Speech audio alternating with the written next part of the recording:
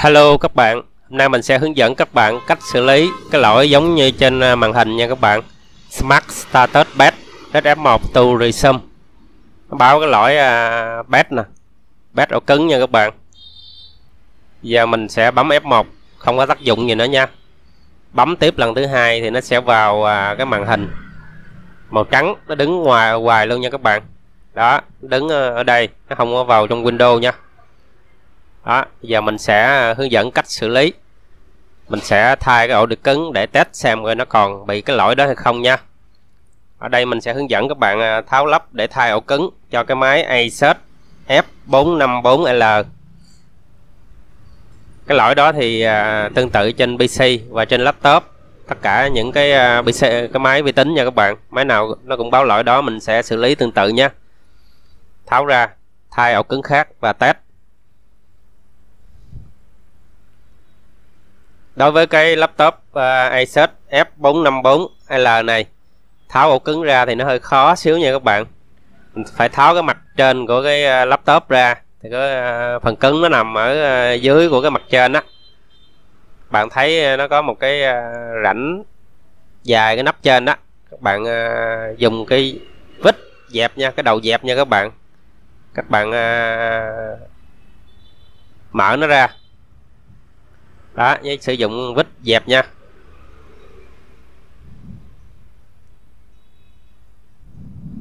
Sau khi tháo hết uh, ốc mặt dưới á các bạn uh, tháo cái mặt trên ra nha các bạn.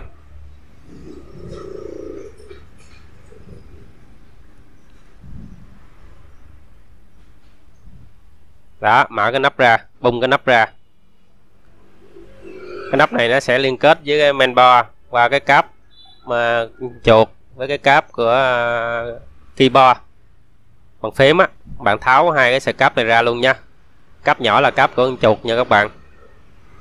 Cáp lớn là cáp của à, bằng phím. Tháo ra để mình lấy luôn cái nắp ra ngoài. Đó, để cái nắp ra một bên để à, trống để mình dễ làm việc nha các bạn. Vâng, đây là cái ổ cứng.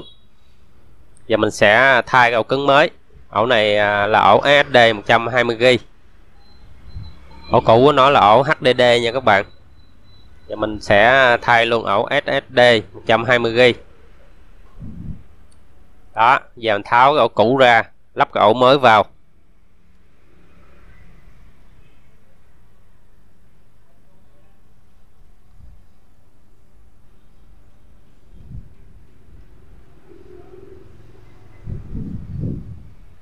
Bạn thấy cái sợi dây cáp của cái cổng ờ, uh, IO đó nó nằm dán chặt lên cái ổ cứng á tháo nó ra nha các bạn. Mở nó lên. Đó tách nó ra rồi mình tháo cái ổ ờ, uh, HDD ra ổ cứng cũ á. Tháo hai con ốc cố định của cái uh, ổ cứng vào trong mainboard á, tháo ra để uh, kéo cái ổ cứng ra.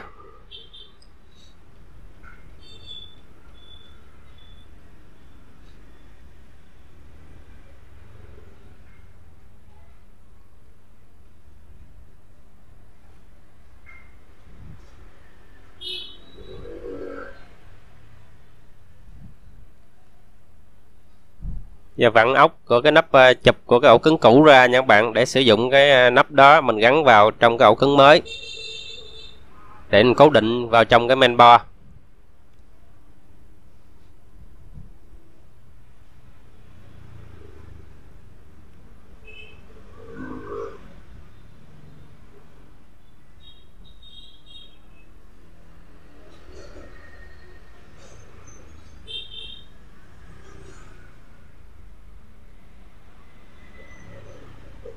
đó, lắp cái ổ cứng mới vào.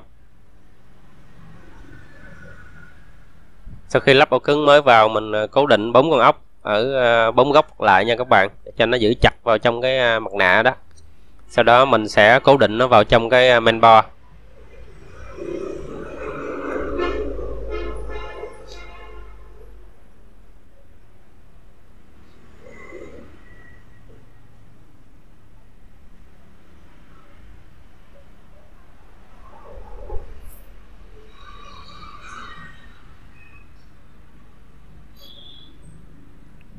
rồi bỏ cái ổ cứng cũ đi. Ổ cứng này là ổ cứng mới ok. Mình lắp vào để mình test nha các bạn. Giờ mình sẽ lắp cái ổ cứng này vào trong cái uh, laptop. Mình tiến hành mình chia ổ đĩa và mình gót phiên bản Windows 10 lên cái ổ này để xem nó còn bị cái à, lỗi báo F1 hay không nha. Smart Best Setter á cái lỗi à, lúc đầu nó báo á nha các bạn.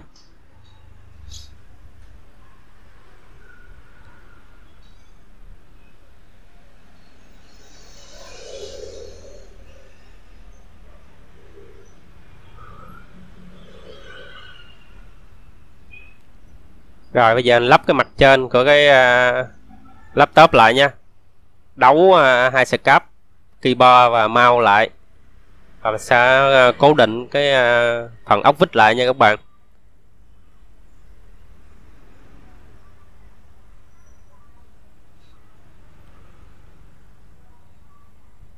Đó bây giờ uh, vặn những con ốc ở mặt sau lại cho nó giữ uh, cố định cái uh, laptop lại nha các bạn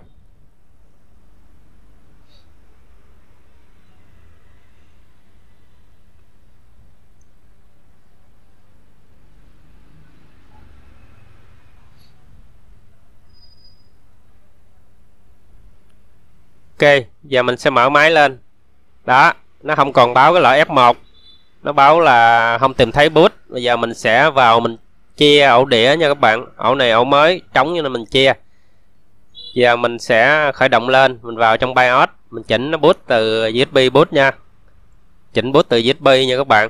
Cắm cái USB vào và chỉnh boot từ USB đó, mình sử dụng ANHDV boot nha. Vào trong WinPE vào trong mini Windows ờ, 10 32 bit. Các bạn tham khảo cái phần tạo USB ờ, boot trong cái phần video của mình nha các bạn vào trong phần bạch tay xanh bạn thấy cái ổ à, cứng là 120G nó trống. Giờ mình chia cái ổ này ra làm hai ổ nha. Ổ C và ổ D. Set acti cái ổ C lên.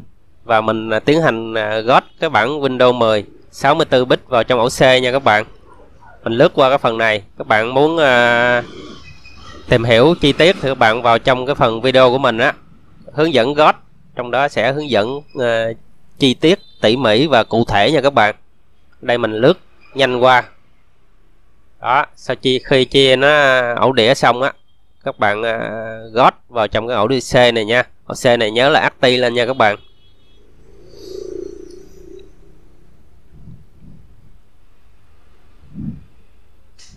Rồi chạy chương trình GOT 32 trong cái à, USB boot á.